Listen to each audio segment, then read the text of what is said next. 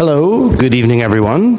Uh, my name is Dr. Alex Schwartz. I am the Deputy Director for the uh, Center for Comparative and Public Law here at HKU Faculty of Law.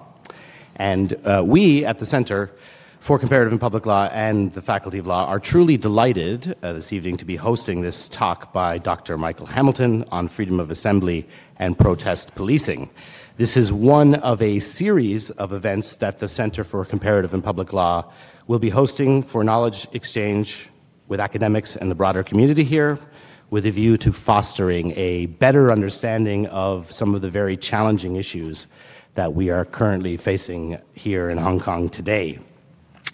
Dr. Hamilton is senior lecturer in public protest law at University of East Anglia and also a recurring visiting professor at the Central European University, formerly in Budapest, soon to be in Vienna. Uh, before that, he was co director of the Transitional Justice Institute at the University of Ulster, um, where he was also senior lecturer at the Transitional Justice Institute. He is a member and secretary of the Organization for Security and Cooperation in Europe's Office for Democratic Institutions and Human Rights. And indeed, Dr. Hamilton was lead author of the Office for Democratic Institutions and Human Rights Venice Commission guidelines on freedom of peaceful assembly.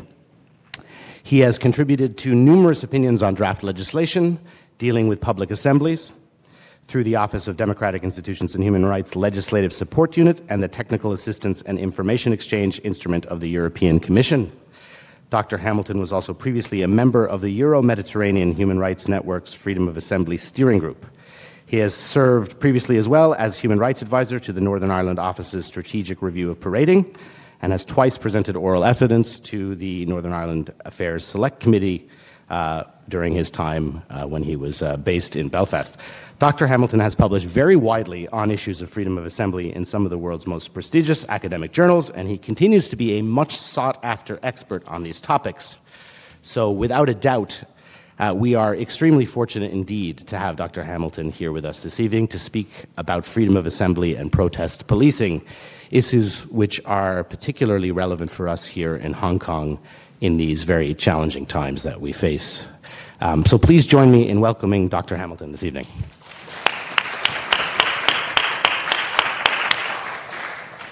Well, good evening, everyone, and uh, a very sincere thanks to, to Alex and to the Centre for Comparative and Public Law for this wonderful invitation uh, to be uh, in Hong Kong and to give this talk at such a time as this. Uh, I wanted just to start by saying I'm based at uh, the University of East Anglia in Norwich in the southeast of England, as Alex has said, and it's still the only law school that I, that I know of that offers courses specifically in public protest law and uh, dissent and protest. Um, but I'm not from Norwich. I'm based there at the moment, uh, and those of you who might be able to pick up on regional accents will detect uh, a certain Belfast tinge. Uh, and I'm originally from Belfast. And uh, actually, I've known Alex for over 10 years, and we first um, met many years ago. Uh, and one of the greatest memories I have is of visiting the streets of North Belfast with Alex to watch and observe the policing of contentious parades uh, there. And for better or for worse, uh, Belfast and Northern Ireland also have uh, water cannon to use uh, against protesters. Um, sometimes to particularly uh, effective uh, ends.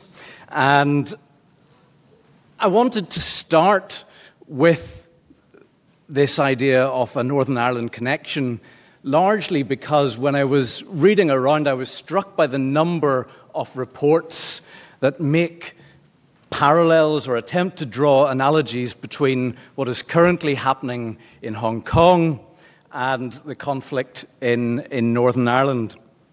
And again, this is something that Alex and I have been talking a little bit about and uh, trying to gauge to what degree this is a valid parallel. But I want to just draw a couple of things out of, of the parallel, if I may. Of course, there an over, there's an overlap in personalities who have been involved in Hong Kong and Northern Ireland, the most obvious being Chris Patten, who, when he left here, went to Northern Ireland to chair the Independent Commission on Police Reform. Um, as you'll see uh, in this next slide, um, Paddy Ashdown, who has commented on the public order ordinance um, here, also, when Alex was giving his introduction, referred to the strategic review of parading in Northern Ireland, and it was Paddy Ashdown who chaired that body for three years, and I had the privilege of being the, the human rights advisor to him during that time. But just to think about this, this Northern Ireland question, and I think from what I've read, a number of strands are drawn out in the analysis. So some people say um, there's an element of national identity that is a driving force, and that is a parallel that can be drawn. That the protest movements here are triggered by a public grievance around a, a, very particular issue. And there are again similarities with Northern Ireland, though I don't think either Hong Kong or Northern Ireland hold a monopoly on protests uh, being driven by grievances on public issues. But perhaps more particularly, I think um, the conflict in Northern Ireland was characterised by a significant erosion of trust in the police to the point that you would say there's been a crisis, and there was a, a very real crisis of legitimacy in policing in Northern Ireland. And that this crisis of legitimacy was exacerbated and sustained by police interventions regarding um, freedom of assembly. And one of the things when I talk about protest uh, and policing is that I sometimes feel it's a, it's a sideshow, and what I'm talking about is a diversion from the real issue.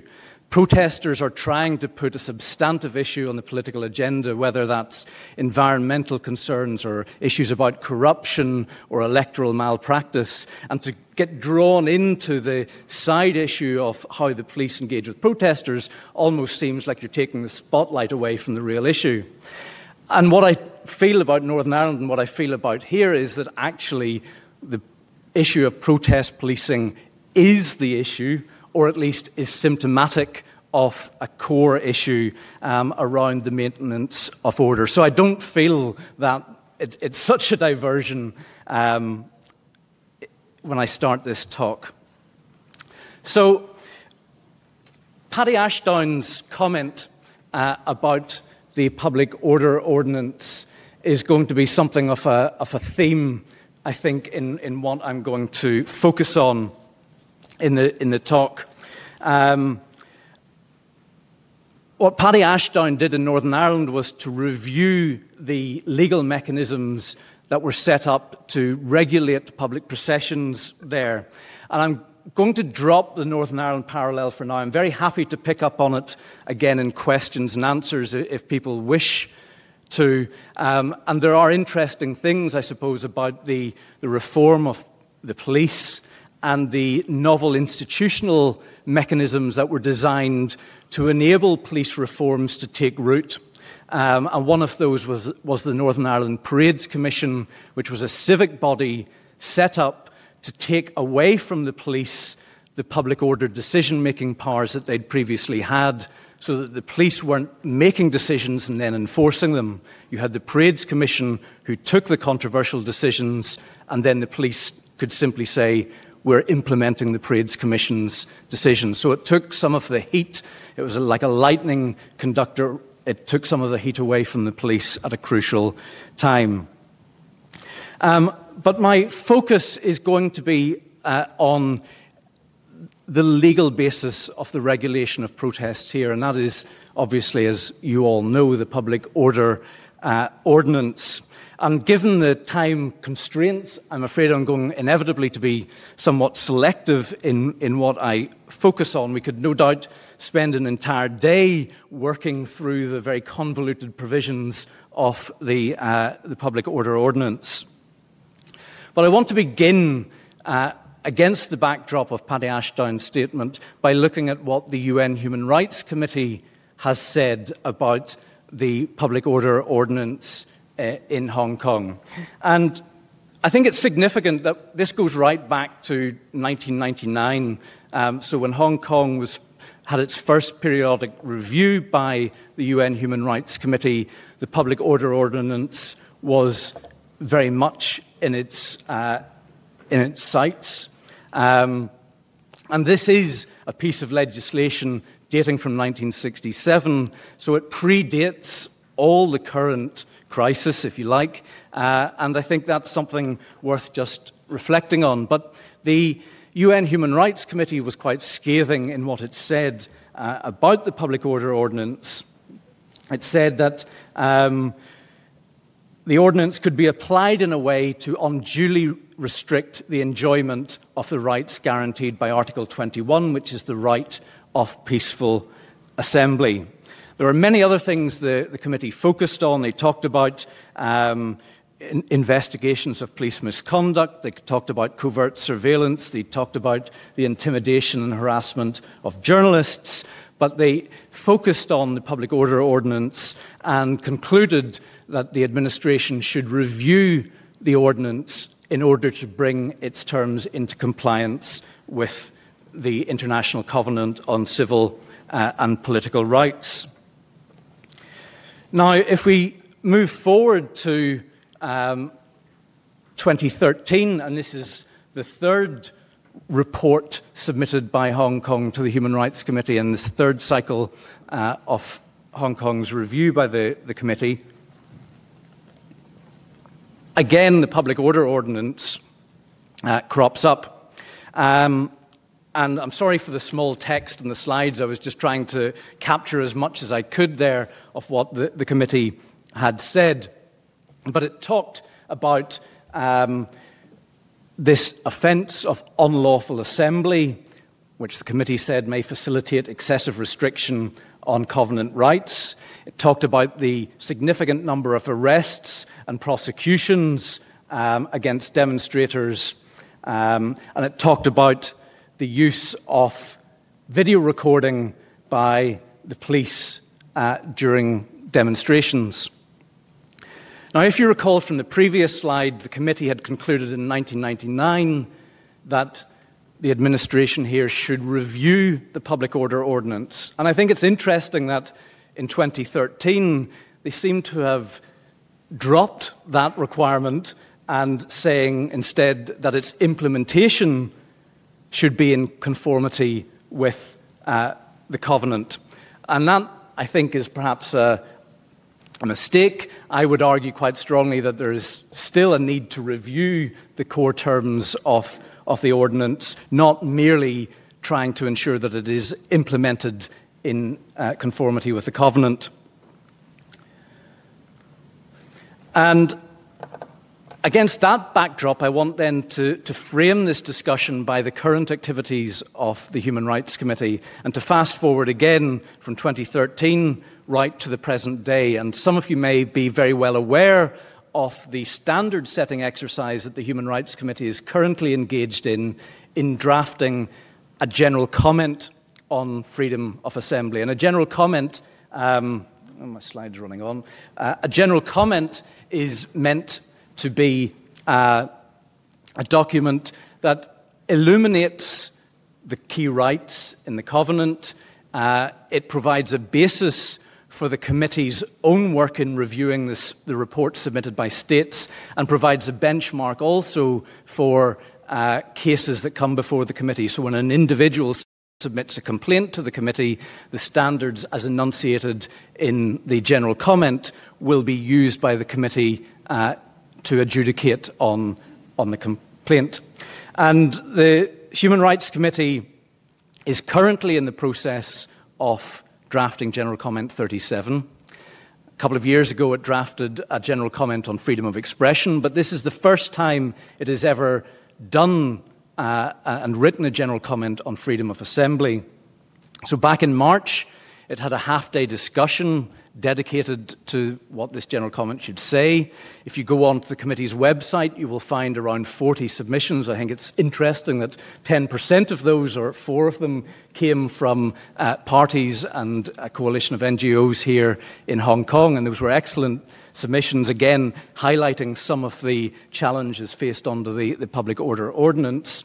Um, and where we are now is that the committee, as of the very end of last week, literally Friday, um, is almost at the point of uh, agreeing the first draft um, and the first reading of the first draft of the general comment. My understanding is that on Thursday of this coming week, um, that draft should be finalised and it will then be circulated for consultation not only to NGO groups and stakeholders but also to states. And that that consultation will be open until the end of January. And then there will be the process of the second reading of the general comment, which will take through 2020. Uh, and the, the, committee in 2020 will have three sessions uh, and they will devote uh, a lot of discussion time in 2020 to finalising the text of this general comment. I'll come back to the importance of general comment 37 at the end, but I think it's, it's important to recognise that this is ongoing. I'll refer to, to some of the draft text of general comment as we go through and as I think about some of the, the terms of the, the public order ordinance. Um, so, the first thing I want to say um, about what the Human Rights Committee looks for is the requirements of the legal framework in a country.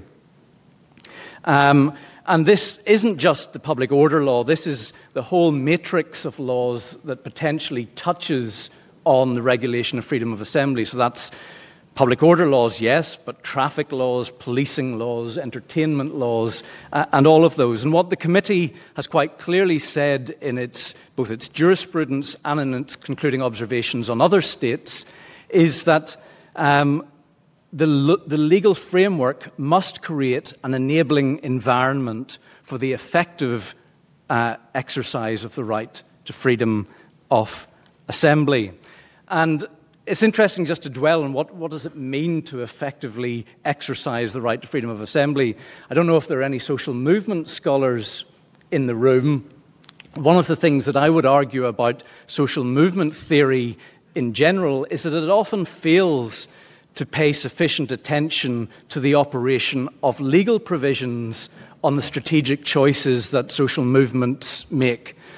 And I would suggest that the legal provisions and having a very granular empirical assessment of the effect of those legal provisions on the choices of social movements, on the strategies that social movements take, is really quite important.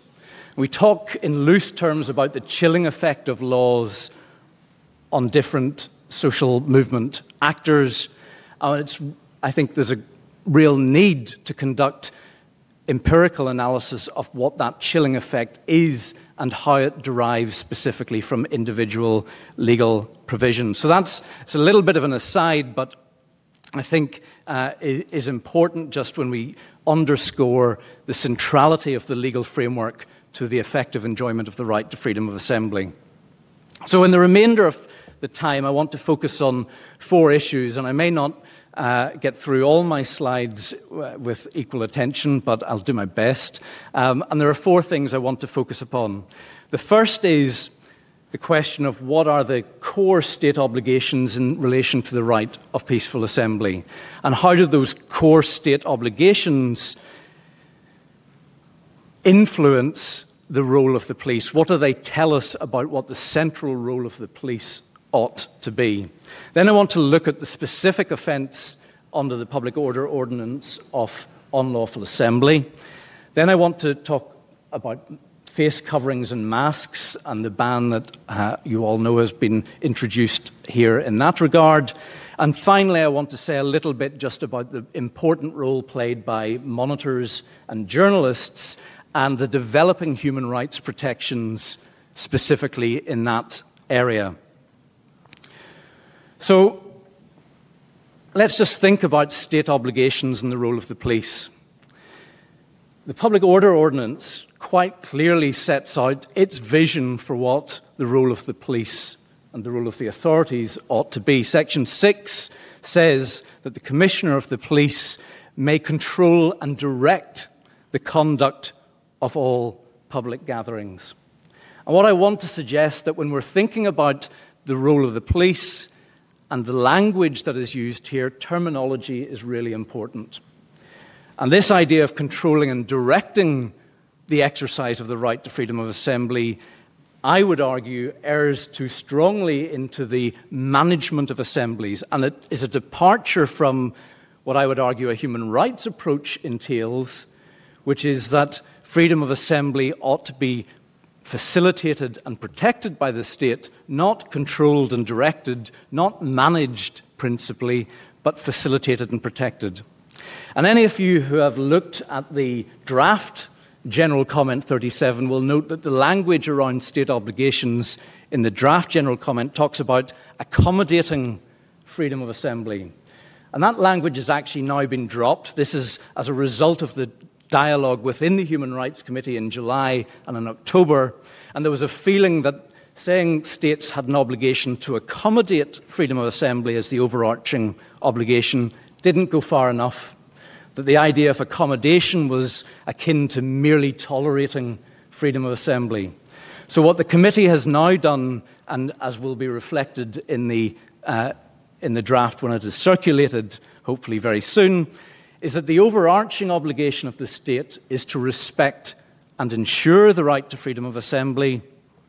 And that has both a negative and a positive component. The negative component, often overlooked actually, is that states should refrain from interfering with the exercise of the right to freedom of assembly. That should be the starting point. The starting point shouldn't be that states think, how do we regulate protests in the street? The starting point should be nothing needs regulation unless there's a convincing and a compelling uh, reason for uh, intervening. And then, in terms of the positive obligations of states, it's not, as I say, accommodate, but it's about facilitating and protecting the right to freedom of assembly. So, again, just to emphasize, the language is important, and I think the Public Order Ordinance sets up the role of the authorities in a fundamentally uh, wrong way and a way that is at variance with these human rights standards. Significantly, paragraph 11 of the draft general comment also says that these obligations to protect human rights still persist where an assembly ceases to be peaceful. So we have to remember it's not just that we're talking about one single right, the right of peaceful assembly. We're talking about the whole panoply of rights protected under the covenant. And just because an assembly may cease to be peaceful and may therefore fall out of the protection of Article 21, that does not diminish the requirement that other rights still must be protected um, by the authorities. So, just to dwell a little bit more on these obligations and their impact on protest policing, I wanted to say a little bit about what the academic literature uh, says in relation to protest policing styles. And there are a number of different styles. And these, I should caution at the very start, these are ways of helping us think about how police respond to protests. They're not mutually exclusive, okay? So I'm going to talk about four different styles very briefly of protest policing. They overlap. It's not that the policing of protests in one country falls into one category or the other, and you will see elements that are familiar uh, in, in each of these different policing styles. And the first style is what's known as escalated force, um, sometimes referred to as the iron fist approach. Uh, and this uh, saying on the, on the right hand side, when you're in riot gear, everything looks like a riot, comes from a saying, I don't know if it translates well here, but there's a saying in Ireland that if all you have is a hammer, then all you see are nails. Okay? And so it, it in some way reflects the idea that however you equip your police will determine how the police then respond to those that they are confronted with. Um, but escalated force is quite self explanatory. It is essentially the use of force, whether that's arrests, beatings, tear gas, uh, and other weapons, to quell protests by inflicting pain and suffering. And I've used Lord Scarman's quote when he did a review of the Red Lion Square disorders in London in the 1980s. He said that the approach of the police then uh, had the effect of treating public order as the quietism imposed by successful repression. And I venture to suggest that that's not the vision of public order that any of us in this room wish to see realised, but that is uh, part and parcel of an escalated force approach. Now, in response, and as uh, policing perhaps became more sophisticated, and as, as it, it became apparent that escalated force did not necessarily solve these problems, police began to use what um, is known as a negotiated management style of policing. And I'm not going to touch at all on the notification stroke authorization requirements in the Public Order Ordinance. Again, we could spend an entire day talking about that and the, the, the notice of no objection and so on. But essentially, the negotiated management style of policing is predicated on notification about assemblies being given. That notification is a trigger then for negotiation, perhaps with the authorities. It suggests that there's a more consensual approach to the uh, I'm going to use the word management of protest because I think negotiated management, despite suggesting consensual policing, is still a more subtle form of managing protest. And it brings with it very real concerns that um, the police are actually co opting or routinizing or neutralizing the, the sting of protests by trying to engage in a friendly dialogue with protesters and thereby chore- choreographing exactly what protesters may do. And you see this approach of protest policing playing out in a number of ways. The picture on the slide there is of a police liaison officer and we have these friendly police liaison officers uh, in, the, in the UK, here, there, uh, helpfully serving lunch along with uh, environmental protesters, I think, in London. Um, but it's not just the UK where dialogue policing or liaison policing ha- has, has been rolled out. Um, and there are some groups that are really quite concerned about the role that these dialogue police serve. They would argue that it's not simply dialogue, but that they actually engage in gathering evidence. And if they're to serve any useful role within the police chain of command, all they can do is to feed that evidence back into the police operational planning. So it becomes essentially another means of, of surveilling protesters and gathering evidence about them. So that's negotiated management with a fairly skeptical view. How long? 15, 20. Thanks. Okay. No rush. no, good.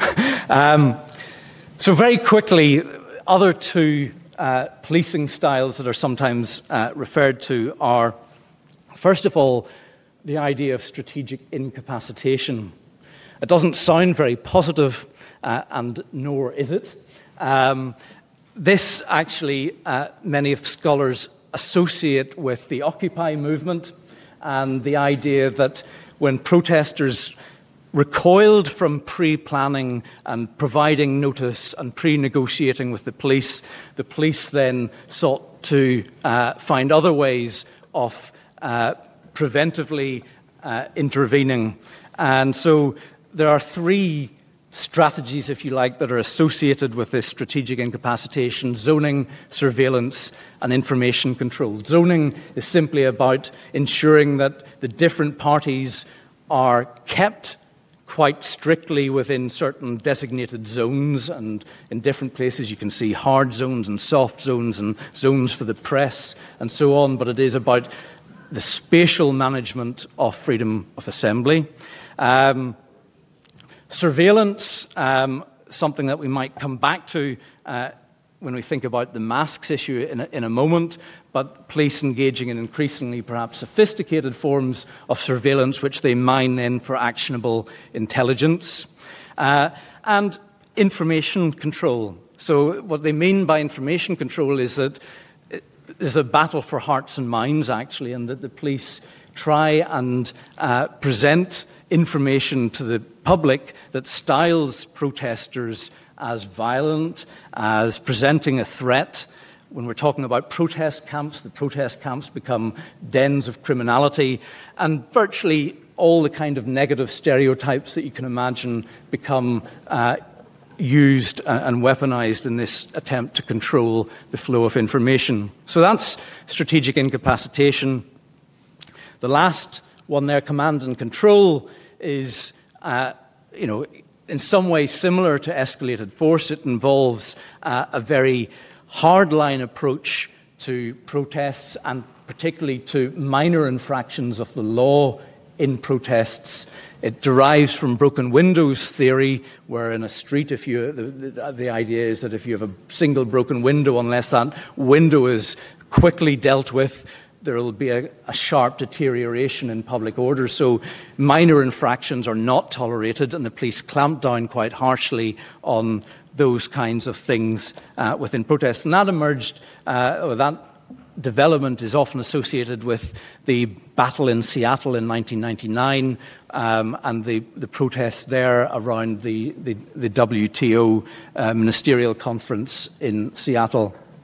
As I say, zero tolerance, tolerance for disorder and a very hierarchical management, micromanagement of, uh, of assemblies. And it's, it's associated too with uh, a militarization or a paramilitarization of the police.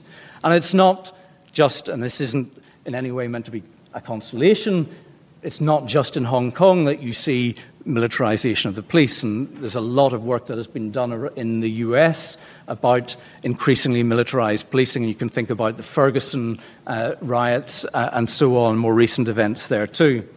And all I want to say, uh, I, I said this to Alex when he extended the invitation, that I didn't want to come here and talk about standards on human rights policing. I didn't want to come here and reel off what the basic principles on the use of force say. We can all read what the basic principles say.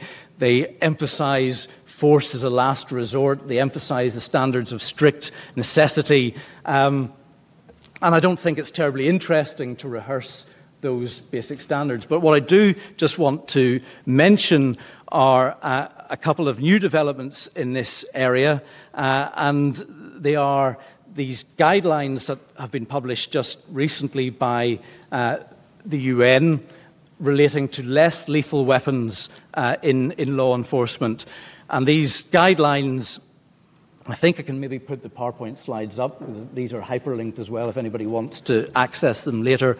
Um, the guidelines give very specific guidance on the use of kinetic projectiles, that's rubber bullets and so on, the use of tear gas, the use of water cannon, and also things like independent oversight of, of policing.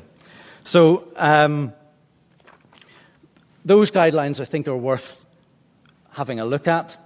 And uh, just to give a quick sense of some things they say, they say the human rights of participants shall be respected and protected even if an assembly is considered unlawful by the authorities. So, this is a segue to my next point, which is about unlawful assemblies under Section 18 of the Public Order Ordinance. Okay?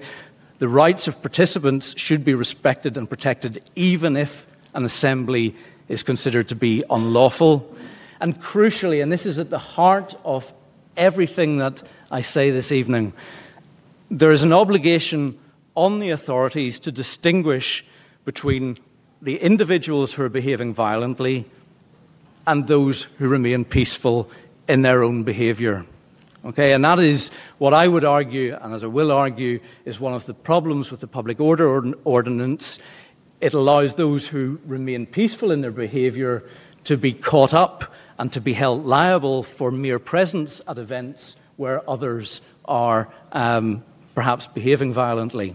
We all know that the right of peaceful assembly is the right of peaceful assembly. Uh, and with that comes this key obligation on the authorities and on the police to distinguish between those who are behaving peacefully and to continue, therefore, to protect the right of assembly of those who uh, remain peaceful. And this you know, also derives from crowd psychology. There's been a lot of work looking at how, um, if the police treat crowds as a single, undifferentiated mass, that that quickly becomes a self fulfilling prophecy. So there is a need to differentiate um, between uh, those different parts of a crowd. So let's move on quickly to section 18. Um, I know this is a provision that many of you will be familiar with, and I feel slightly hesitant coming here and even trying to put this on a slide, uh, let alone talk about it. But I want just to flag what I think are some key problem, problematic aspects about this provision, which many of you will also know is the predicate offence for Section 19 of the Public Order Ordinance, which is the riot offence.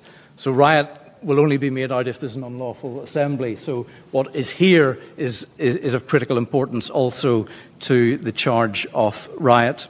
So, it says when three or more persons assemble together conduct themselves in a disorderly, intimidating, insulting, or provocative manner, intended or likely to cause any person reasonably to fear that the person so assembled will commit a breach of the peace, or will by such con- conduct provoke other persons to commit a breach of the peace, they are an unlawful assembly.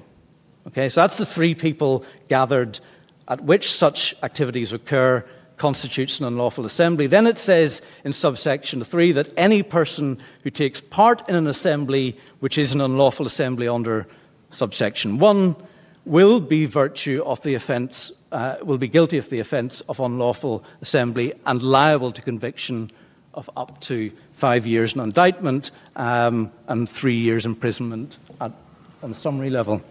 And I want just to say, and I'm going to run through these very, very quickly, um, that there are at least five possible issues with um, Section 18. Um, first of all, it emphasizes unlawfulness as a standard rather than peacefulness. Okay, I'll say a bit more about that in a moment. I've got slides on each of these five points. Um, so it, it, it emphasizes unlawfulness rather than non peacefulness. It also, as I was saying a moment ago, fails to require an individualized assessment of the peaceful conduct of participants in an assembly. So it risks treating an assembly as non differentiated mass. Also, I think the threshold for what can be characterized as an unlawful assembly is very low. So the inclusion of the words insulting and provocative are actually speech actions that ought to be protected or that are protected under international human rights standards and freedom of speech. Freedom of speech protects insulting speech, it protects provocative speech. And linked to that, Section 18 says that an unlawful assembly will be made out if others are provoked to commit a breach of the peace. So if you can, have, if you can be charged with being uh, a member of an unlawful assembly because of the actions of others in committing a breach of the peace. That effectively sets up what is a heckler's veto that the actions of others end up heckling, they end up having repercussions restricting your right to freedom of peaceful assembly. Okay?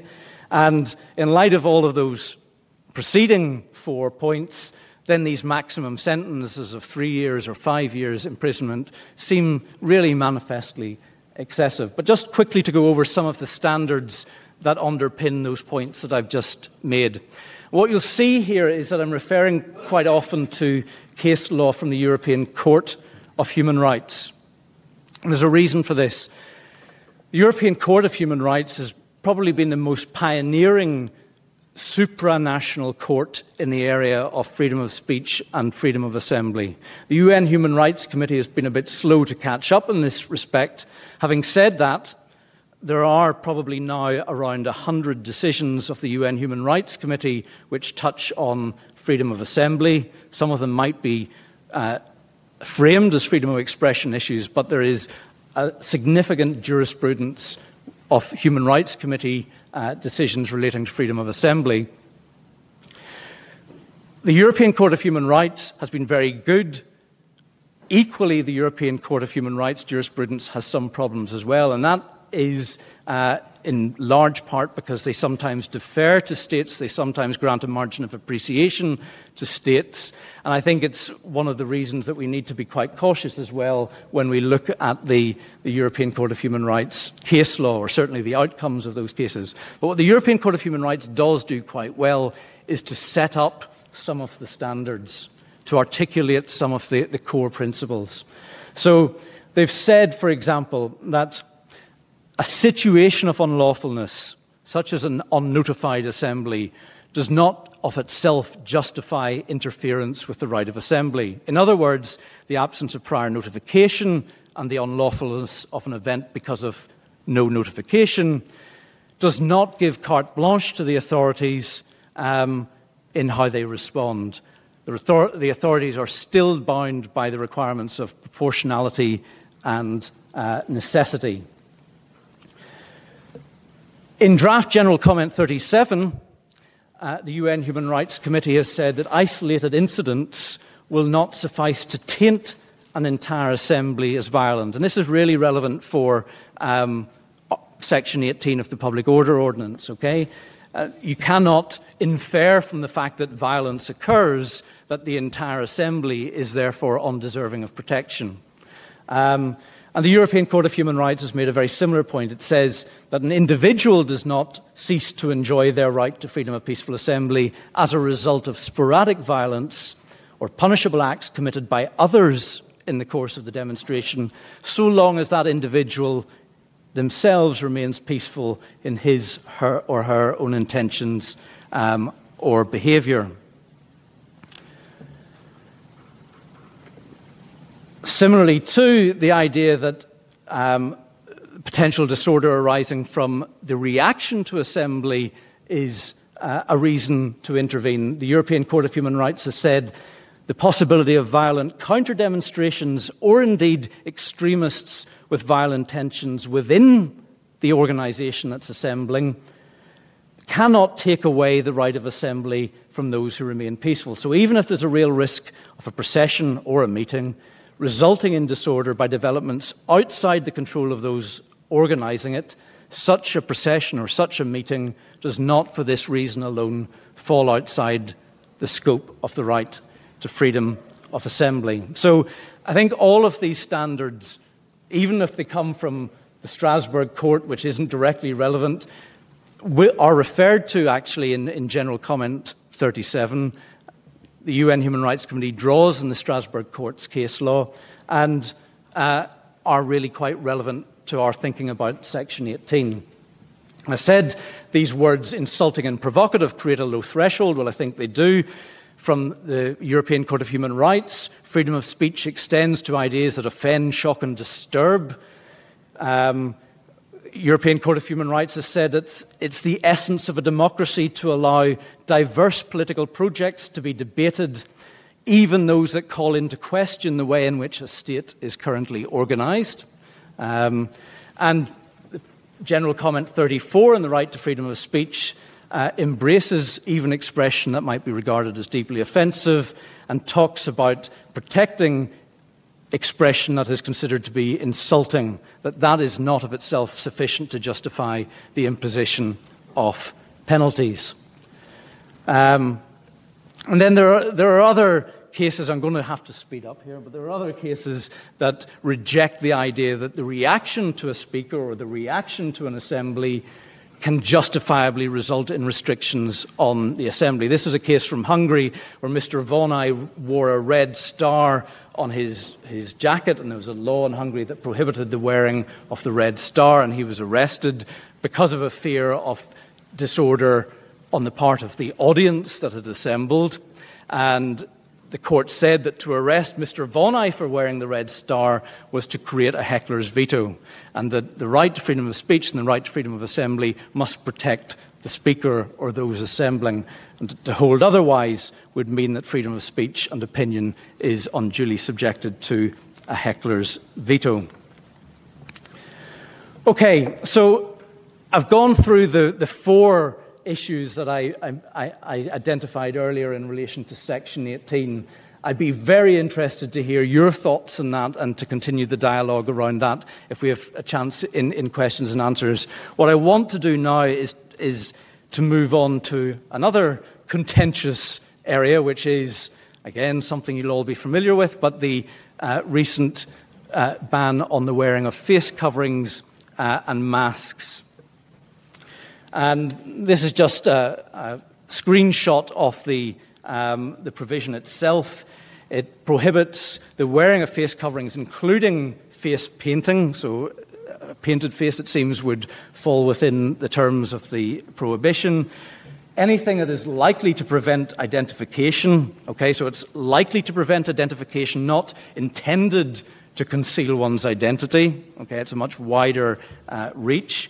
Again, with quite a significant uh, liability attached to it, up to one year's imprisonment. Now, as I've noted, many people already know the reasonable excuse defence, which includes wearing masks for religious reasons or if there's a pre existing medical or health condition. And I've seen people suggesting that we should continue to wear masks on the pretext that you're not feeling well. Um, and, and, and that's an interesting way of engaging with, with the law. But what I want to say is that the um, ban on face coverings is certainly not unique to Hong Kong. Some of you will know that uh, in France, this has been a very contentious issue in the Gilets jaunes protests, and that uh, a ban on wearing face coverings uh, in the vicinity of a demonstration without a legitimate reason was uh, criminalized in France. Uh, and so there's been quite a bit of reaction from the human rights community to the the ban there. The Council of Europe uh, Commissioner for Human Rights uh, was very critical of this. She uh, released a very uh, scathing memorandum, which is worth reading, where she said that the increased penalties for intentional hiding of one's face um, without a legitimate reason are deeply problematic. It's a provision that undermines freedom of assembly.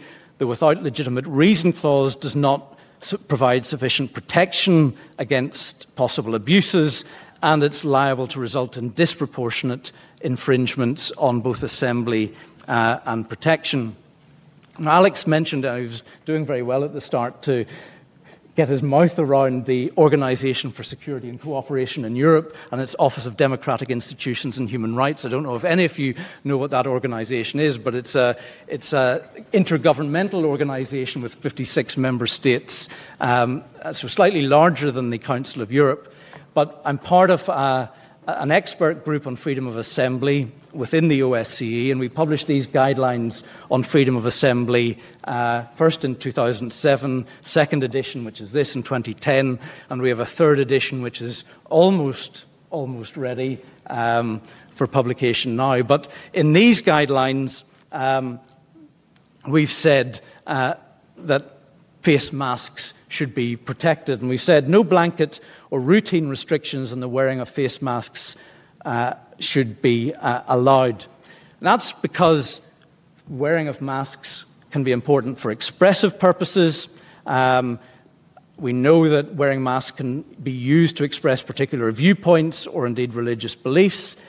And uh, we've said that the standard should be that there should be no prohibition unless there is demonstrable evidence of imminent violence. Now, some would say that maybe doesn't go far enough that there needs to be perhaps demonstrable evidence of imminent violence on the part of those being asked to remove their masks. Okay, and it's a, it's a very tricky line to, to draw, and again, we can maybe talk about this in, uh, in questions and answers.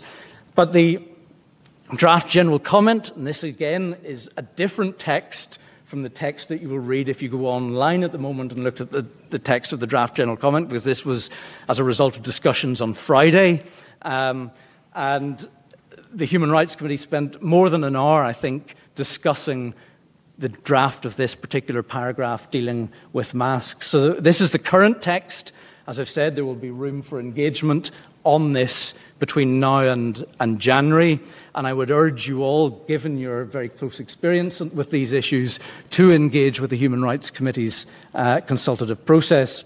But they've said the wearing of face coverings or other disguises may be part of the expressive element of a peaceful assembly, or they may serve to counter reprisals. So it's not just that we wear masks because we want to express something, but that we want to do so for safety reasons, to prevent ourselves from being identified. And that's interesting because it, it goes so far as saying we ought to be able to wear masks to conceal our identity because concealing our identity is important for our safety. And it says, it doesn't really make the link very clear, but it says that this is in the context of new surveillance technologies. And so, obviously, with increased facial recognition technologies, the fear and the chilling effect of being identified and how that might impact on future participation in assemblies, what the authorities might do with the, uh, the, surveillance material they've gathered, um, all of that goes to actually justify the wearing of masks, not to justify the prohibi- prohibition of the wearing of masks. And again, they use this language of imminent violence, um, and currently, blanket bans can only be justified in extreme cases. So I'm going to skip this. This was what uh, the, the, administration here said about um, why the police engage in video recording of demonstrations. On that, if anybody's interested in this area, there's a very interesting development just again from last week where the Information Commissioner in the UK issued a memorandum saying that there needs to be a statutory code of conduct dealing with police powers to use facial recognition technology, that this is an area where police use of technology has outpaced the legal regulation of that technology, and there's a need to reassert legal regulation and to emphasize standards such as strict necessity. So it's worth having a look at not only the memorandum, but what will follow from this in terms of a statutory code of conduct. Okay, now this is the last point I was going to, to make, and I'm going to very uh, to rush it quite significantly. But one of the things that we've paid a lot of attention to in, in the OSCE work is the role of monitors and the role of journalists also in uh, reporting on freedom of assembly. And we have this handbook on monitoring freedom of peaceful assembly. Again, some references to the European Court of Human Rights court has said it's incumbent on the press to impart information and ideas in matters of public interest, and this includes reporting on opposition gatherings and demonstrations, which is essential for the development of any democratic society. Um, there have been various bodies from the OSCE to the UN Special Rapporteur on the right to freedom of assembly. The next slide is uh, uh, from the African Commission on Human and People's Rights, but emphasizing that the right to report uh, on demonstrations and the right to monitor demonstrations, including the right to photograph the police, is something that is protected under the right to freedom of peaceful assembly.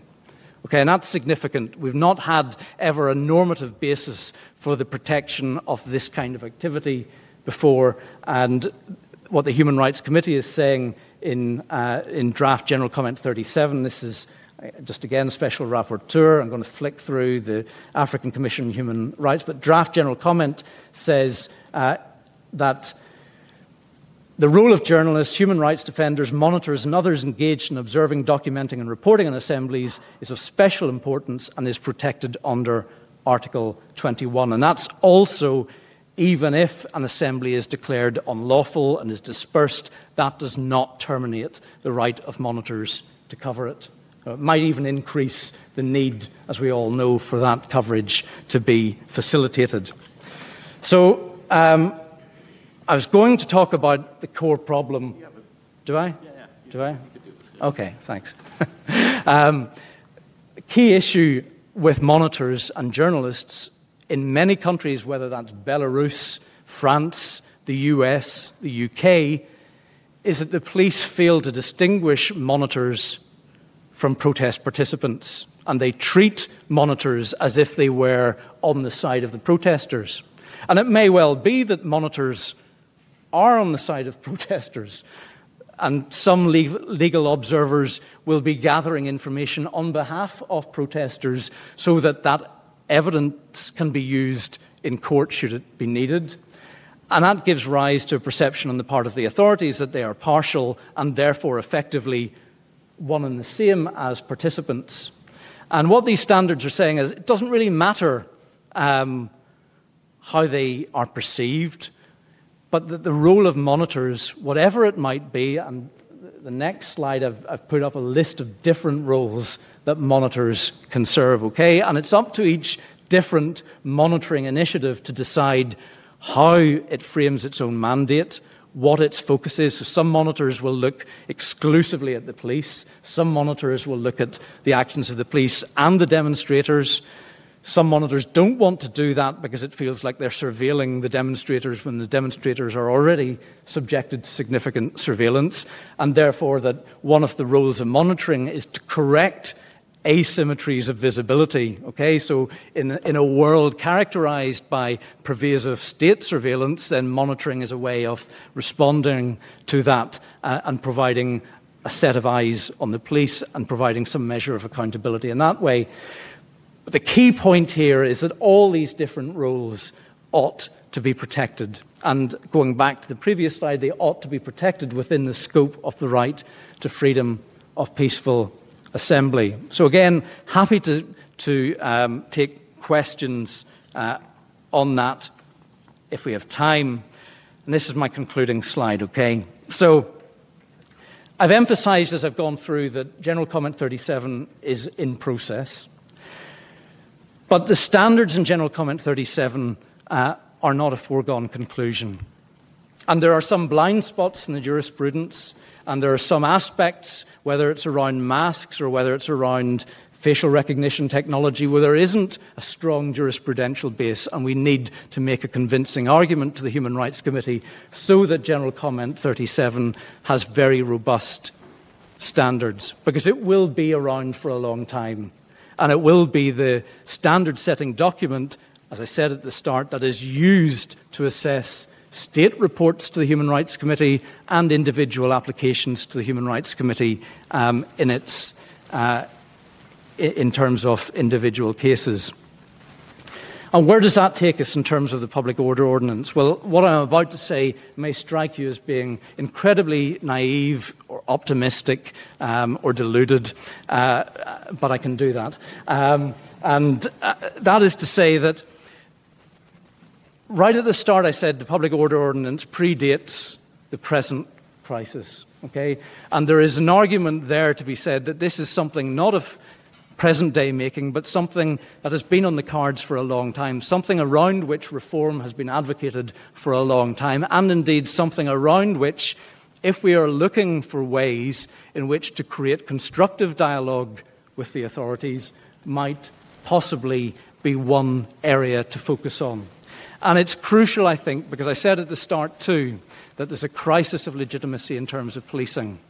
And that unlike or like in Northern Ireland, this is not going to be won through a security response. There needs to be a political solution to the current crisis. Um, and on, if we go down this path of a security response, it will only further uh, exacerbate the crisis of legitimacy in policing. And the only way in which we can extricate ourselves from a crisis of legitimacy in policing is to think about um, how standards around the protection and regulation of freedom of assembly might be uh, improved so that the framing of the police power is not about uh, directing and controlling assembly, it's not about managing assembly, but it is about crucially facilitating and protecting this fundamental right of peaceful assembly. Now, I have desperately run over, and I'm going to stop. Thank you very much.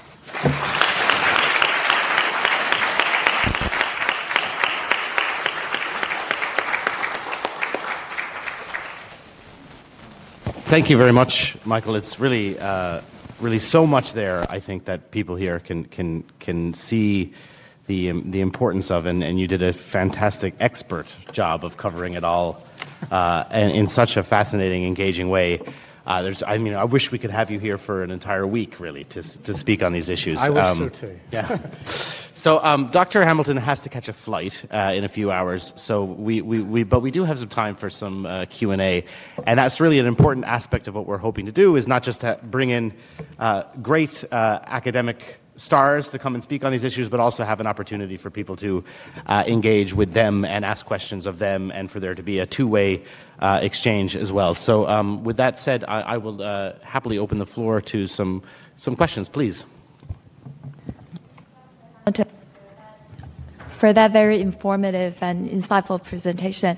Uh, I have two questions. Uh, the first question is uh, whether in the drafting of uh, General Comment 37, has there any thoughts been given to civil disobedience uh, and how to uh, incorporate in designing the framework for protest law and, and, the protection of the rights to assembly? the second question is about violent protests. Um, how do you is is there any definition in the drafting of General 30 uh, General Comment 37 or the broader jurisprudence uh, of the definition of violence? Uh, because uh, as you well know that. Uh, vandalism um, is not equivalent to uh, bodily injury. I wonder your thoughts about this. Okay. Thank you very much. Um, on the civil disobedience question, uh, some of you may know the, the committee's rapporteur who is in charge of drafting General Comment 37 is Professor Christof Heyns, who's a professor at Pretoria in South Africa, and his own PhD was actually on the very topic of civil disobedience. So he is keen for civil disobedience to be reflected in the text. Now, it can't be expanded upon at great length in the text because the right is of peaceful assembly, and in some ways they're, they're different concepts. But there is a reference to uh, peaceful civil disobedience. I'm, I, am really sure I, am not going to try and find the, the paragraph right now, but there is, I, I, I think, a reference to it. Um, it does emphasize again the, the nature of peacefulness, okay, and in some ways it goes to this distinction between peacefulness and lawfulness, okay, that where people break the law and knowingly break the law and do so as an act of civil disobedience, recognizing the consequences of breaking the law, perhaps not accepting those consequences as legitimate, but nonetheless recognizing those consequences, um, that any sanction must be proportionate. Um, and so, you know, even in acts of civil disobedience, the standards of necessity and proportionality still adhere. There is also uh, discussion around what constitutes violent assemblies. Um, and, you know, the, it, it's very easy just to define violence or peacefulness in terms of their opposite. So that violence is um, everything that's not peaceful, and peacefulness is everything that's not violent. Uh, and it's not particularly helpful. Um, but um, the, the, committee, I don't think, want to get into providing examples of what constitutes um, violence. There, there are aspects in the jurisprudence where they talk about coercive behaviour or intimidation, um, and where, for example, the European Court of Human Rights has said that intimidating behaviour does not necessarily meet the, the, threshold of violence, and cases where people have perhaps pushed back against security uh, private security guards or even the police and has been pushing, and that is not regarded as violence sufficient to exclude it from the protective scope of the right of assembly. So there are interesting issues there, and, and, and, I would say more probably in the jurisprudence than in the text of, of General Comment 37. The one key issue there that the committee is actually struggling with is in relation to hate speech and the, pro, the, the provision under Article 20, paragraph 2 of the Covenant, which requires states to prohibit hate speech. And there's a debate around whether the advocacy of violence under Article 22 should be something that is covered in the general comment relating to the scope of the right of freedom of peaceful assembly, um, or whether the advocacy of violence, as it's stated in Article 22 should instead only be something that is considered in the restrictions part of the general comment. So uh, there's a question of what should be in the scope of the right of peaceful assembly and what should be considered only when it comes to justification for restrictions on the exercise of the right of assembly and hate speech as well. Should that be built into the definition of peaceful assembly so that anything at which hate speech occurs would be excluded from the protective scope? Or we, ex- we include hate speech as part of a protected assembly, but recognizing that that can legitimately be restricted if a certain threshold is met. So there are, there are complicated issues around the definition of, of peacefulness. Um, thanks. Uh, question? Anyone? Thoughts, even comments, perhaps? Yes, please, Margaret. Yeah. Thank you very much, Dr. Hamilton. Uh, I'm sorry to say that everything you said today is directly relevant. Uh, that our police and our government had broken every principle that you have put up in your slides, and some are broken by our courts, and the question that we are wondering in, my, in, our minds is what are we going to do about it? You, in, you very usefully put up the, in conclusion, we can do the two things, and certainly we ought to be doing those. But in the meantime, what can Hong Kong do to, to bring home to the police, the government, even our courts, these principles and their importance? That's a question that I didn't want to be asked. And, uh, it's a question I feared, but I mean, I, I think there's a really difficult position at the moment, and it's, you know, what I'm about to say is not in any way condoning or lending sympathy to the actions of the police, because I think clearly there have been excessive use of force. Clearly there are issues around the proportionality of the police response and all of that. But I also think the police have been placed in an invidious position by this legislation, which confers very wide ranging powers on them. It gives them that discretion. They have filled that role. You know, they have, they have lived up in some ways to the ego image that the, the legislation creates about directing and controlling assemblies. And until you can have an honest conversation about, well, maybe that's not the role of the police, it's actually, when I think of the Northern Ireland parallel, when the reforms to policing and when the setting up of this uh, body, the Parades Commission, were first uh, talked about, there was a fear that the police would think this was taking away the, the core raison d'etre of the police, that the police would lose any reason for existing if you, if you took their public order decision making powers away. And quite the opposite, the police were hugely relieved not to have this burden placed on them. And they could stand behind and simply say, we're not, we didn't make this decision, we're just implementing the, the decisions of, of this other body.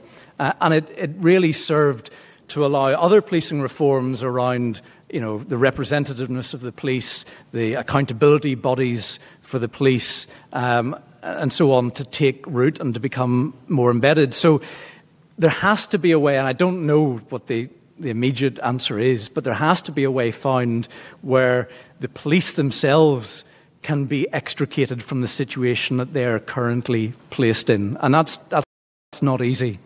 Um,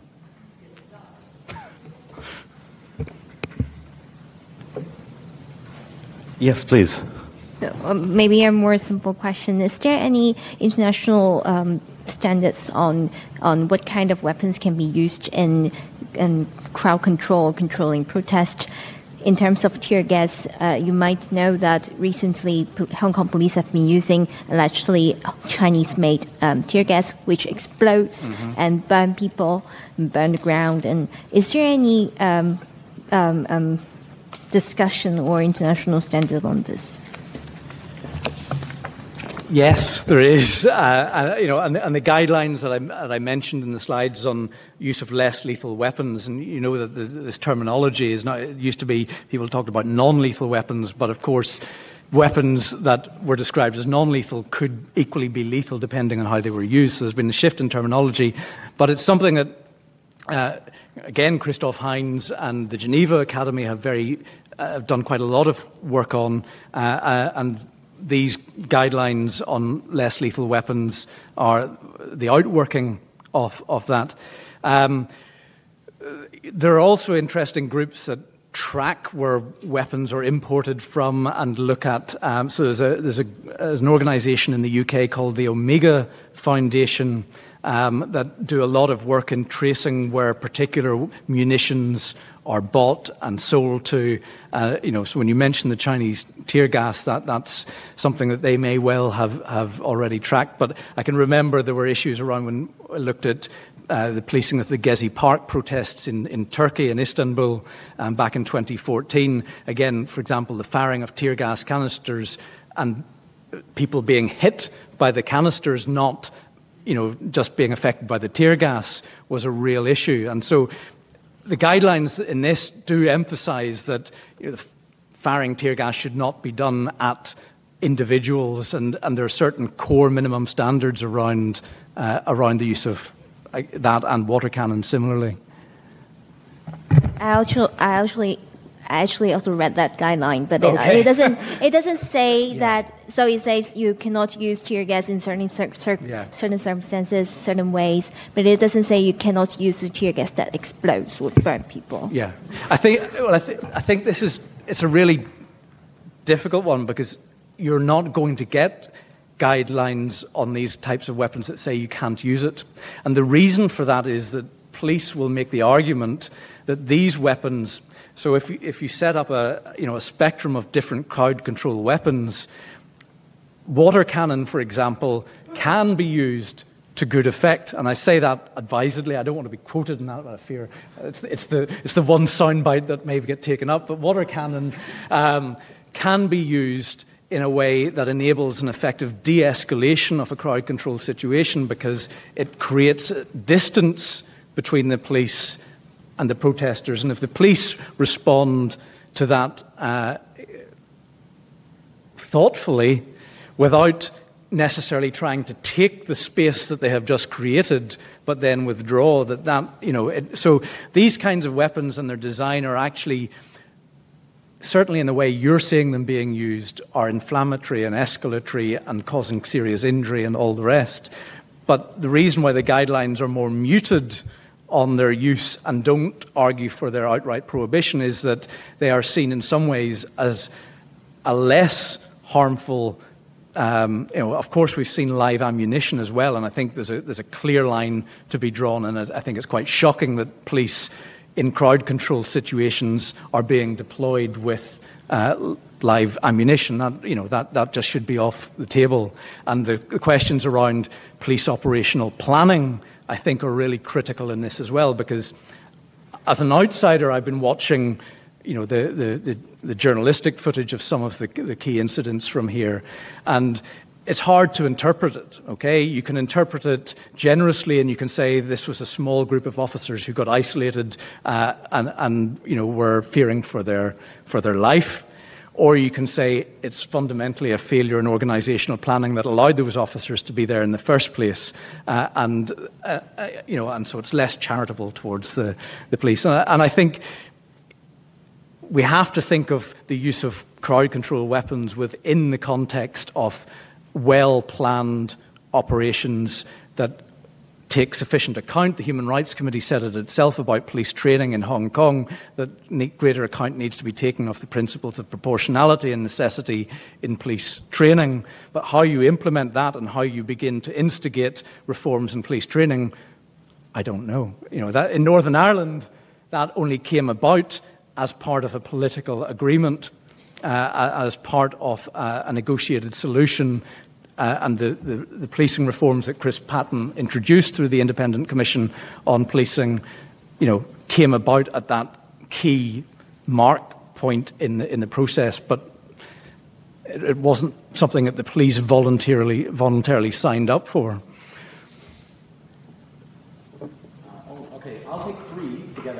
Um, if we can just, I think you, you, you have the freedom to, to be as, as uh, brief as you, as you like uh, uh, with, our, with our questions because I know you're, you're pressed for time. But uh, I'll take the three that, that hands that I just saw. I'll take them one, two, and three.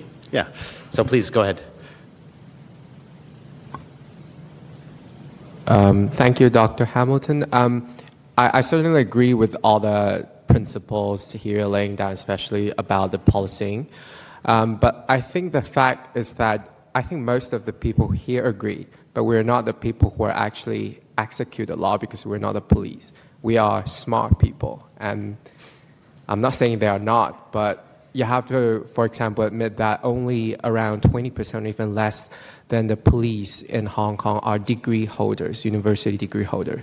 So it, comes to me that uh, is it possible that you share some um, good or interesting example of police control, police education, or um, police guiding uh, that, that could that, that could enlighten us because to me it would be a little bit unrealistic if these rules are on books and in our mind but actually we don't really have a very good tactical policy of transplanting these to the police themselves yeah. thank you um, we'll take yes please go ahead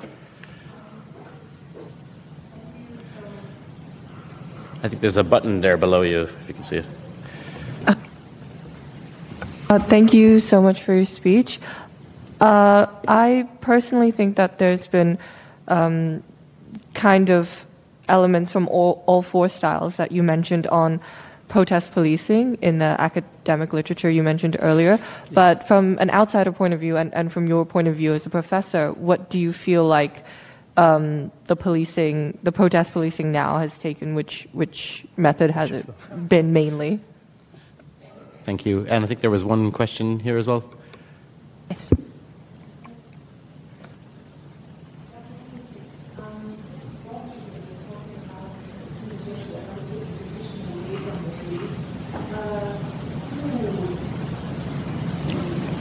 Okay. Great, great questions. Um, I will leave it to your discretion uh, how much time it's your flight to catch or to, or right. to not catch. But As long as there's nothing blocking the road to the airport, then, then we're all right. Uh, okay.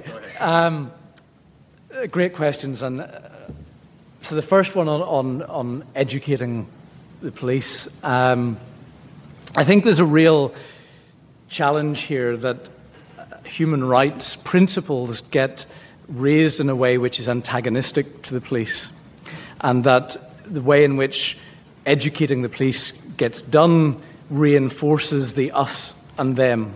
Uh, and the idea, and the, uh, the police then feel that human rights are something that is used against the police, that it is a way of um, critiquing always the police, rather than helping the police see human rights as integral to what the police do.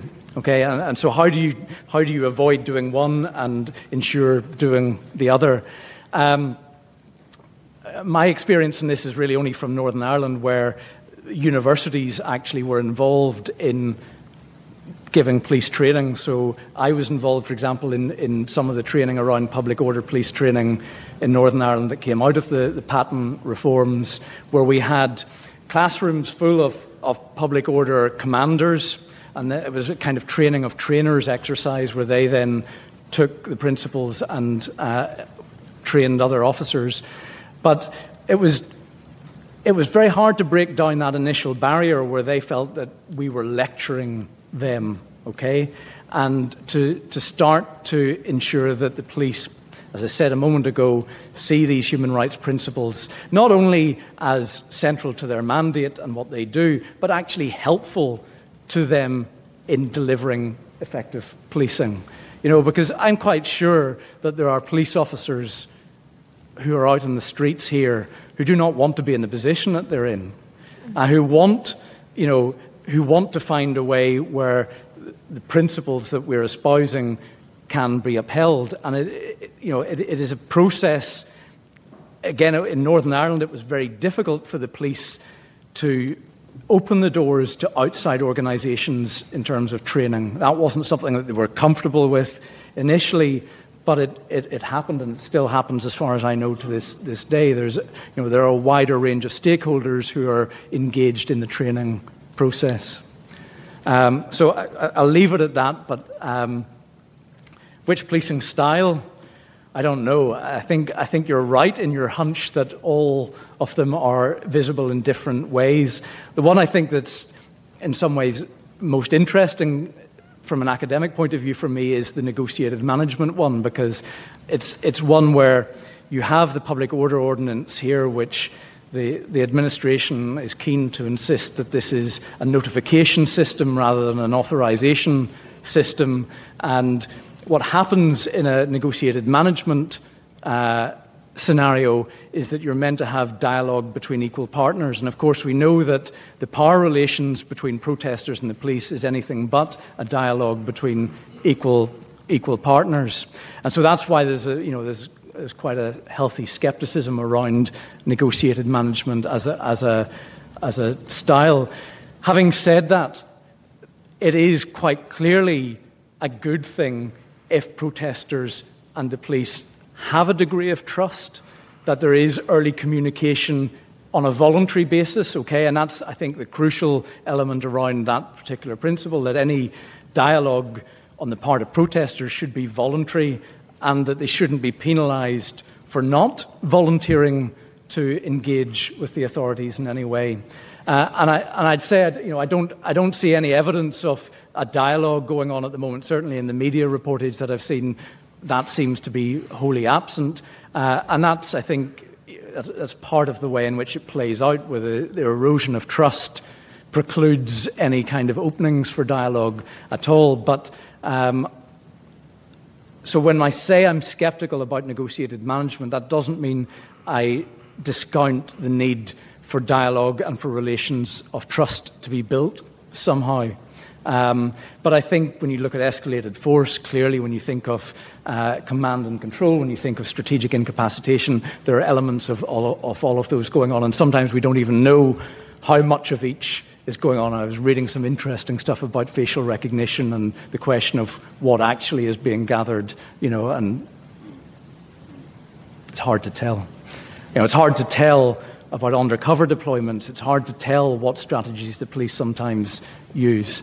Um, so, in order to say definitively which style is being deployed, um, it's easier just to say there's a mix. and the last one, sorry, the Parades Commission and the, and the, and the body. It was a novel approach, okay, and in, in Northern Ireland, um, the crisis of legitimacy in policing was in part that uh, the police were not representative of both ethnic, political, religious communities in Northern Ireland. And what the government thought was a good idea, they, they created an independent commission to look at what was the public order order in Northern Ireland and to come up with uh, a new mechanism. And this, mecha- this process was chaired by uh, Sir Peter North, who was a vice chancellor of Oxford University at, at one point, and he had a priest uh, and another couple of experts involved in that commission reviewing the, the existing mechanisms, and they come, came up with this idea to have a civic body that would be appointed by the government with up to nine members, one chair, up to nine members, um, and that this body would have the responsibility to receive notifications about upcoming public processions and to, to decide whether to impose restrictions on those processions. And so, this body, called the Parades Commission, um, would take evidence from the police, but the police, you know, we sometimes think, or the police like to think of themselves as the public order experts. Um, Stuart Hall talks about the police as the primary definers of order. And the Parades Commission mechanism decentered the police, okay? It made them just one out of many participants in this process. Perhaps a key participant, but they gave evidence to the Parades Commission, and the Parades Commission then arrived at a decision about whether to impose restrictions. Those restrictions could be challenged through an internal administrative process and ultimately through, the, through judicial review in the courts. But the police did not make the decisions, uh, and the police, as I said earlier, simply said, well, we are policing those, we're implementing those decisions, and it, it provided a buffer, a cushion for the police. Yeah. So initially, there was quite a preponderance of, of lawyers. Um, initially, when it was set up in 98, um, there were, I think, four or five solicitors or barristers on it. Um, and that has changed a little bit where you now have uh, you have business leaders, you have people who have maybe been involved in mediating some of these contentious disputes uh, as perhaps professional mediators, as chairs of local business forums who have you know, tried to resolve uh, disputes around parading because of the interests of traders in a particular area. So they've had a, a hands on experience of dealing between interested parties. So you get a whole range of people, but you apply actually. The, the posts are advertised, and then you get interviewed. I got interviewed, I never got appointed. Um, you get interviewed um, for the Parades Commission, and they, they appoint a body that is supposed, in the terms of the legislation, to be broadly representative of the community of Northern Ireland. What, what representative means is, is an interesting question in itself but it's, it's, it's clearly a move away from public order expertise and a widening out of, of, of that decision making process.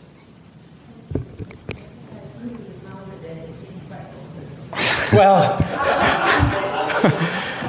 it's um, it, it, yeah. I mean, this is this is. I really, I think, in, in, in Dr. Hamilton's defense, uh, on some of the on some of the more optimistic proposals here, I, I suppose that is one of the. Uh, privileges of academic life is that we, we can engage in this sort of blue sky, uh, optimistic yeah, thinking. I, I, I, agree. I mean, I think it is quite fantastical to be thinking about some of the, those kinds of mechanisms at the present moment. But in the long term, mm. it, it's an interesting, it's an interesting model, and there, you know, there are other interesting models out there as well. Yes, yeah, please, please. May I just say uh, one uh, hopeful uh, point? Uh, that is, we can only improve from here because, according to a recent survey, I don't know whether you're aware of it, 51 point something percent of the public has zero confidence in the police. So, from this, I hope we can only improve. Yeah, it, it would be hard. It would be hard for us to, to have a have a have a, uh, a more um, serious challenge when it comes to the uh, crisis of legitimacy, as you put it. I think that the one point, just to, just to sort of in closing, that I thought was really uh, valuable to take away was the idea that the, the governing legislation, the, the legal framework around public order, really creates a shape that the authorities then fill, you know, either expand to fill or contract. And so um, we, we, we shouldn't, I think, lose sight of that idea that, you know, it may seem like this is the way things are and that's just how things are, but actually there are systematic, systemic structural characteristics of the system. That's a lot of use of the word system, uh, around which that, the, that the, the, the, individuals and groups are behaving within those, those, those frameworks. And if we can think about positive uh, proposals for, for improving the frameworks that we have, maybe we can get to a better place. Um, so I, I, do, I do share some, some optimism on this, uh, despite how challenging things might feel. So, um, if you'll please join me in, in thanking Dr. Hamilton for what was an excellent talk. Thank you.